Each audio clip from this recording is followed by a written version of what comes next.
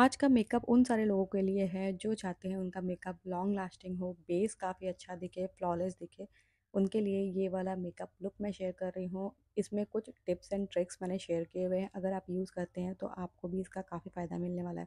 सबसे पहले आपको अपने चेहरे को प्रेप एंड प्राइम करना है, बहुत थिक मॉइस्चराइज़र लगाने की ज़रूरत नहीं है, जब आप दौड़ रहे, भाग रहे होते हैं तो बहुत थिक मॉइस्चराइज़र से आपको पसीना आ सकता है। तो कोई भी लाइट वेट वाला मॉइस्चराइज़र ही यूज़ कीजिएगा।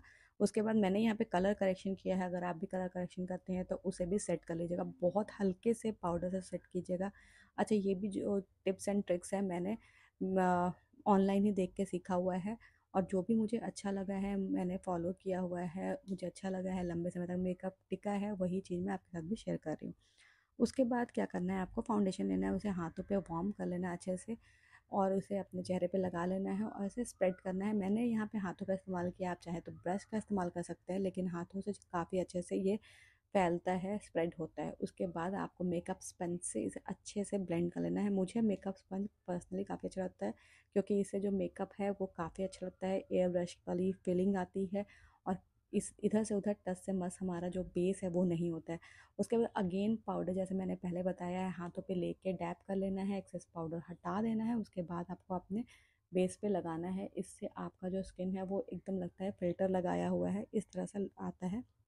उसके बाद आपको अपने बेस को मेकअप सेटिंग स्प्रे से स्प्रे कर लेना है ताकि जो भी बेस है वो लॉक हो जाए। तो सेटिंग स्प्रे यहाँ पे बहुत ज़रूरी है। दूसरा मॉइस्चराइज़र बहुत थिक मत लगाइएगा, जिस तरह से मैंने बताया हुआ है। फाउंडेशन लगाने का तरीका वो ज़रूर यूज़ कीजिएगा। अगर कलर करेक्शन करते हैं तो उसे हल्का सा सेट ज़रूर कर लीजिएगा, क्योंकि अभी वाले वेदर में ये सारी चीज़ें करना बहुत इंपॉर्टेंट है। उसके बाद जैसा आपको लगे आई मेकअप आप वैसा कर सकते हैं, क्योंकि हम यहाँ पे बेस की बातें कर रहे हैं। तो बेस इस तरह से ही आपको करना है। बेस आपका आराम से टिकता है। अगर आप कितना भी नाच गा रहे हैं इधर उधर भाग दौड़ रहे हैं, लेकिन आपका बेस एज़ इट इज़ ही रहेगा और उतना ही सीमलेस और फ्लॉलेस लगता है। तो यहाँ पे मैंने अपना आई मेकअप भी लगभग कर लिया है। अब थोड़ा सा यहाँ पे मैं काजल लगाने वाली हूँ। जो भी काजल लगाइएगा मस्कारा लगाइएगा, सब वाटर प्रूफ स्मच प्रूफ ही लगाइएगा।